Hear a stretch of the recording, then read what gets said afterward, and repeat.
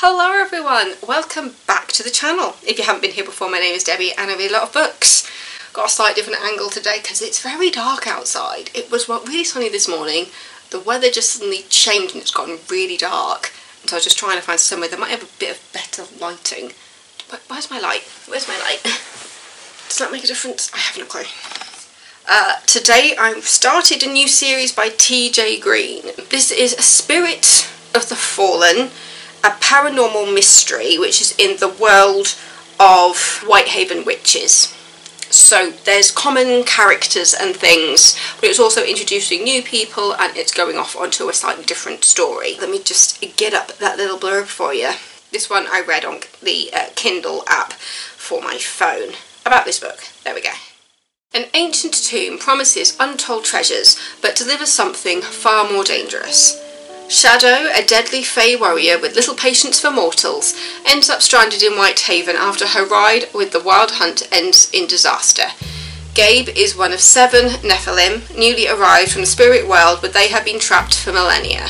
He has a violent history that haunts him, and a father he wants answers from, if he ever finds him. They all have skills that mere mortals don't superior strength, agility, speed, and dubious moles that give them flexibility in their work.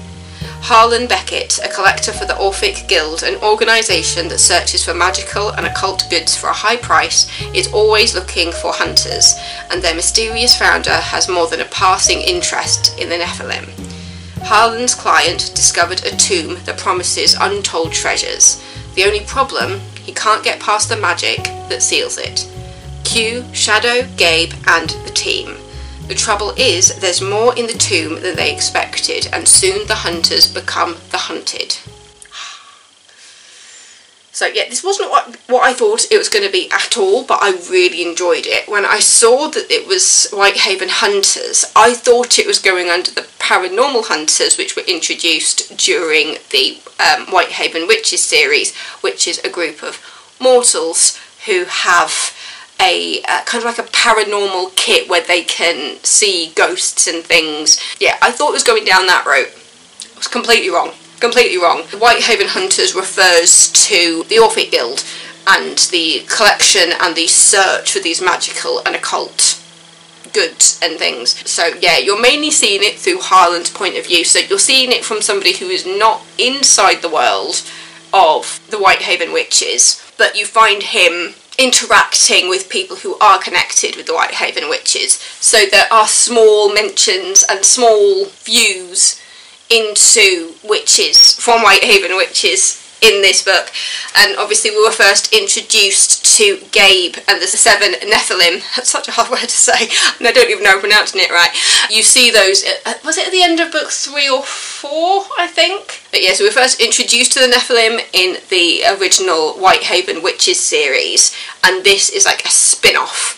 That's the word I was looking for. This is a spin-off that uses characters that were brought in after the um, Wild Hunt in the Whitehaven Witches books and it gives them their own story and search and so this is a point where I've already read the books that kind of follow on from this because I think it's kind of like alternating between the Whitehaven Witches and the Whitehaven Hunters but ultimately I just went up to what was it book 12 and then I've come backwards to read these books.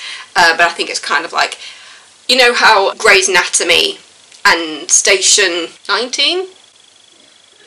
The fire station one. Um, I need to check, because I've also got Station 11 in my head and I know that's not right. Yeah, Station 19. I think I've got a couple of seasons to catch up on of that. Station 19 and Grey's Anatomy are in the same universe and you can alternate seasons to be fully caught up because Station 19 and Grey's Anatomy happen at the same time. That's kind of like what is happening with these books.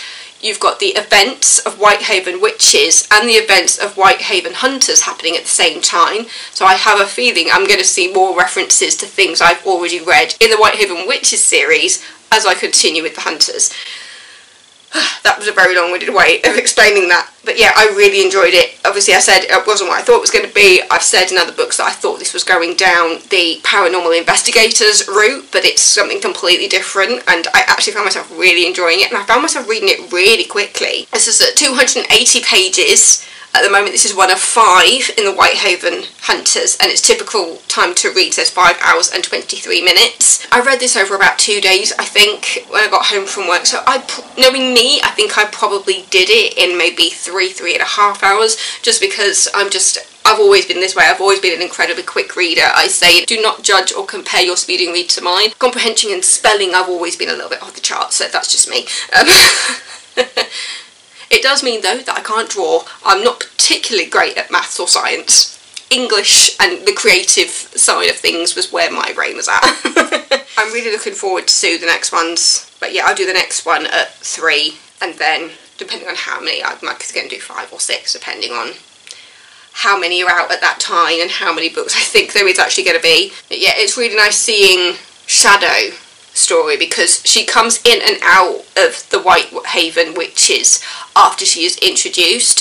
So it's really nice to actually get to know Shadow a bit more and see about her life as Fae and looking at the possible idea of going home but also seeing her settle in to the real world and seeing the Nephilim come to terms with their history and how things are at present. And it's quite interesting because it's one of those things which they're looking upon their history and why they were created and the anger they have at the idea that they were born merely to serve and fight and realizing they don't have to do that and they don't have to work for at this point they are working for themselves and so it's almost like a coming of age type thing because they're finding themselves after all this history and finding themselves as what they are now and dealing with the modern world. Um, I feel like at the end of the day, I always seem to find some coming of age story like at the heart of a lot of things lately. Maybe it's at a point where I feel like I'm still coming of age in my mid 30s, finding myself as I get older. I understand that coming of age thing a bit later in life, and so I feel like I just see it more in the books that I read.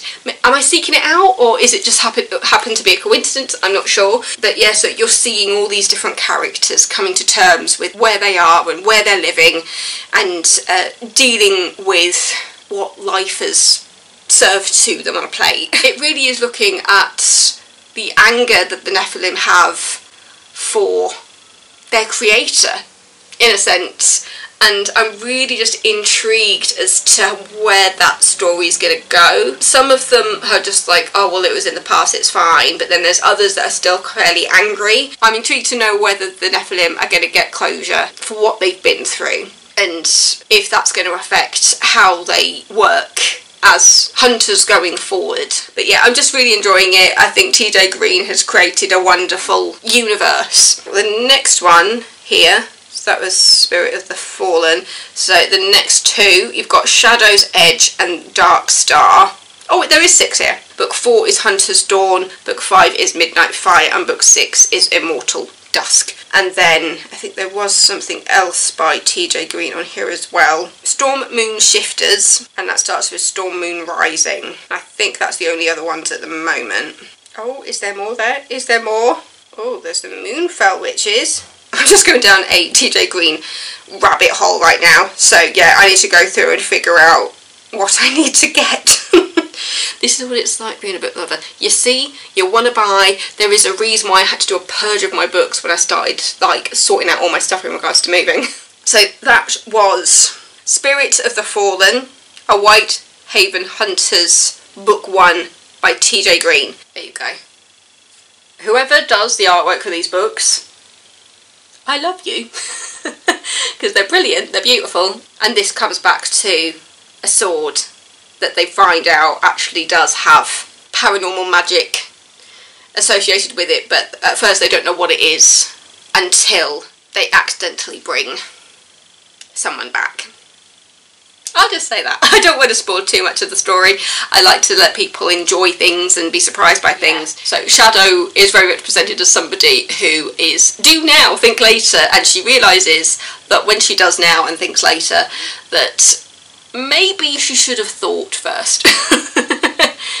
yeah, it's going to be fun to properly get to know Shadow and Gabe the Nephilim through these books because the Whitehaven Witches definitely focus more on the witches and this would give you a chance to look at those characters that we were introduced a little bit later and get their stories. And yeah, I've never heard of the Nephilim before, but it's very much rooted in religion and gods and fallen angels, and so I'm really just interested in it. Like as somebody who was not at all interested in these things at school, reading about them and putting it into kind of a creative mindset just makes things a bit more interesting for me. If you are reading these books along with me, please let me know what you think. If you are enjoying them, if there's any books you recommend based on the enjoyment of these kind of books, just uh, chat to me in the comments. Thank you to the lovely subscribers who have uh, joined. I said in my uh, one of my last videos, we've hit the 250 mark, which I know it doesn't seem like many in regards to um, other YouTubers, but for my little corner of the internet, this was a big deal. So thank you so much um, for those who have decided to join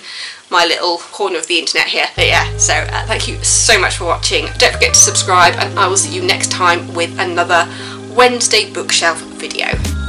Stay safe, everybody. I love you all. Bye!